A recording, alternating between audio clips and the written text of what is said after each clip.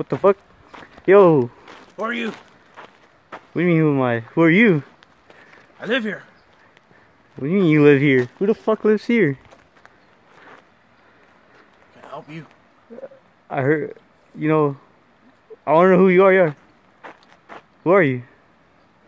Carl's Jr. guy. The fuck? Who the hell is the Carl's Jr. guy? I live here. Why do you live here? Wait, oh, if you're the Carl's Jr. guy, why do you live here? It's my home. Can't you tell by the beer cans, beer bottles? Well, Pretty sure your parents have told you the story.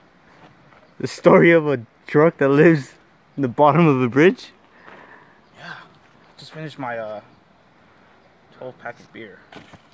If you could buy beer and you're the Carl's Jr. guy, doesn't that mean you have a job? Why do you live here? Oh, of course not. I steal from these houses that are over here. Rich people live there. Rich people with unnecessary and unwanted things. They're so ungrateful. You know what happens during this time of year? They get clothes. They throw their fucking clothes down this goddamn river. And that shit goes to me. I'm so happy for the holidays. Dude, fuck. Is that a skateboard? Uh, yeah, why? So, yo, dude, dude, what the fuck? That's how I got here. What you know about skateboarding?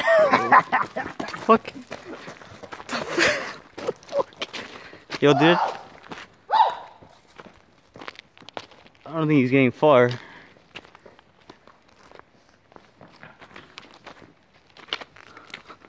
Dude, dude, what the fuck?